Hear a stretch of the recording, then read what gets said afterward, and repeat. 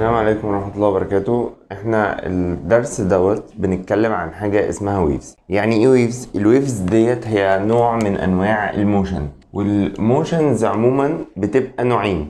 إيه هما النوعين دول؟ نوع اللي هو اسمه linear motion وهو مش لازم يبقى linear. يعني هو أنا قلت linear بس عشان نبقى فاهمينه إنما هو في الحقيقة translational motion. إن أنا الجسم أتنقله من مكان يروح لمكان. ما دام اتنقل من مكان لمكان يبقى دي translational motion بس خلينا نعبر عنها بال linear motion اللي هو لو الجسم اتحرك في line دي كده linear motion تمام؟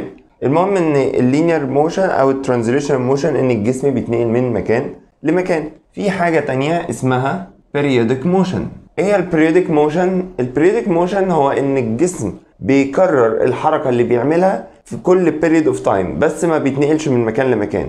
زي مثلا ال rotation لو عندي جسم عمال بيلف يبقى دي كده periodic motion هل هو اتنقل من حتة لحتة؟ لا هو عمال بيلف. okay؟ يعني بيرجع تاني لنفس النقطة بعد كل شوية. طيب أو مثلا vibration أو oscillation ال oscillatory motion برضو هو إن الجسم بيفضل مثلا يعمل vibrate فهو كده برضو ما بيتنقلش من مكان لمكان إنما هو بي repeat its motion each period of time يعني هو بيكرر العملية اللي هو بيعملها كل period of time طب ال waves بقى هي مين؟ يعني هي مين في دول؟ هي linear motion ولا periodic motion إحنا اتفقنا linear motion يعني بتنقل من مكان لمكان. oscillation أو rotation يبقى أنا بلف أو بعمل حاجة بكررها كل period of time وبفضل في مكاني. Actually ال waves هي تعتبر combination ما بين الاتنين. يعني الاتنين مع بعض يعتبروا waves يعني لو ال motion بتعمل الحاجتين مع بعض. إزاي يا مستر تخيلوا معايا كده إن أنا قلت إن القلم ده كده هيتحرك linear motion. يبقى هو هيتحرك من هنا لهنا أهو. ده linear motion.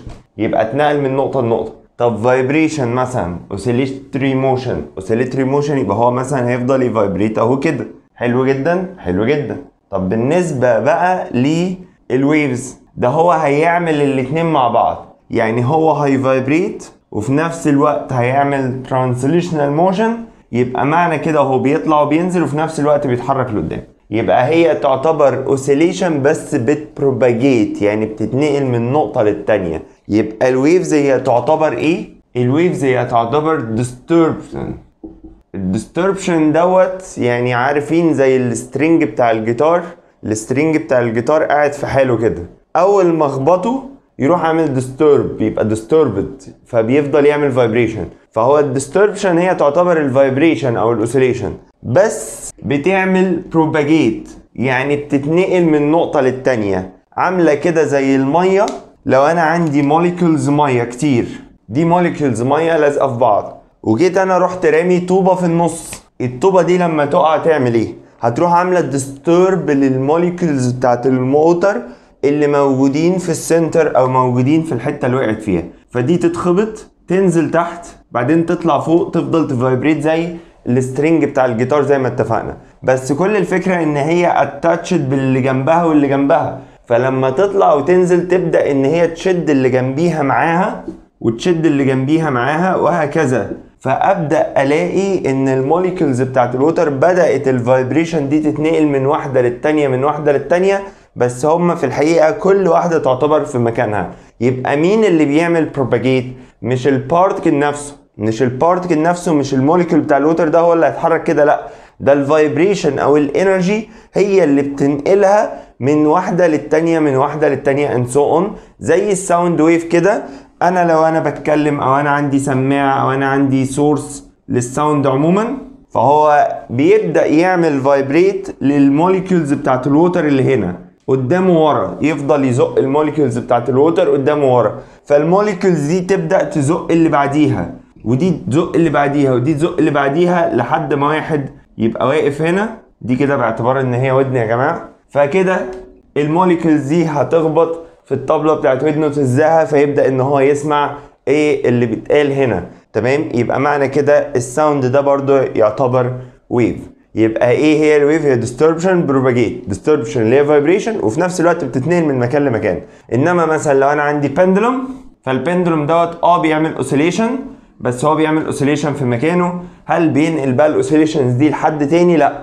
ما دام ما بينقلهاش لحتة تانية يبقى دي كده مش wave ال oscillation دي بتتنقل من حتة لحتة من حتة لحتة يبقى دي كده تعتبر wave زي ال wave اللي هي بتشوفوها في الاستاد بتلاقي واحد بيقوم ويقعد هو بس هو قاعد في مكانه بيقوم ويقعد اللي بعديه يقوم ويقعد اللي بعديه يقوم ويقعد وهكذا. فتلاقي إن المدرج كله عامل شكل wavy أو شكل wave كأنها بتتحرك وبتتنقل من مكان لمكان. طيب يبقى كده إحنا فهمنا يعني إيه waves ال waves نوعين نوع اسمه mechanical wave ونوع اسمه electromagnetic wave ال mechanical wave هو ال disturbance اللي بيحصل ده بيبقى ال particles زي ما اتفقنا مثلا ال particles بتاعت ال water فنلاقي إن هما ال particles عمالة تطلع لفوق ولتحت تنقل ال motion للي جنبيها تنقل ال motion للي جنبيها تنقل ال motion للي جنبيها and so فدي اسمها mechanical. عارفين mechanical زي مثلا أي machine في الدنيا؟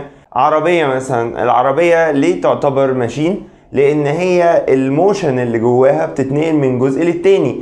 زي مثلا for example أنا الموتور بيحرك piston ال piston دوت لما بيتحرك بيبدأ إن هو يزق مش عارف عمود. العمود دوت لما يلف يروح زاقق العجلة. العجلة لما تلف على الأرض تروح زاقة العربية وهكذا.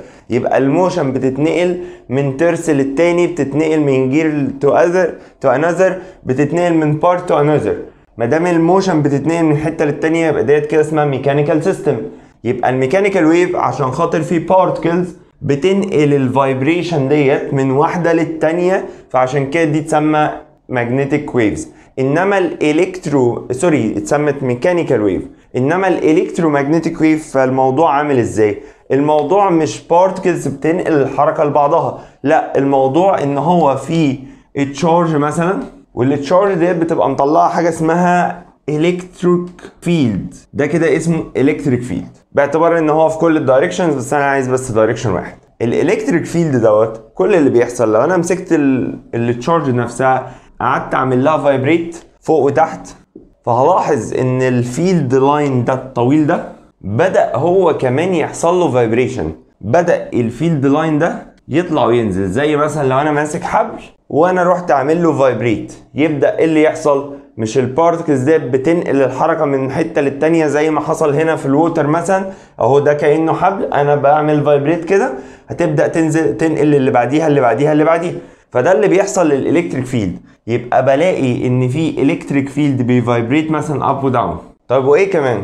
لو إحنا عندنا magnet ال magnet بيبقى مطلع برضو magnetic field حواليه. لو أنا عملت ال magnet vibrate فبيعمل لي magnetic wave. طب حلو جدا. ليه بقى اتسمت electromagnetic ما هو في electric wave لوحدها وفي electric magnetic field لوحده أو magnetic wave لوحدها. في الحقيقة إن الكلام ده ما بيحصلش. دايما بيبقوا الاثنين لازقين في بعض. لو لقيت electric wave تلاقي دايما ظهر معاها كده فوق البيعة حاجة بتحصل phenomena في الطبيعة. مجرد ما يحصل electric wave تلاقي حصل magnetic wave بتتسمى B أو بتتسمى M وال electric field بتسمى E يبقى دايما دايما لقيت magnetic wave أو magnetic field بي vibrate أو بي oscillate لازم تلاقي معاه electric field. ما يظهرش لوحده ابدا. طب لقيت electric field بي oscillate لازم يطلع معاه magnetic field بي oscillate أو بي vibrate أو بي propagate كلهم زي بعض. طب حلو جدا.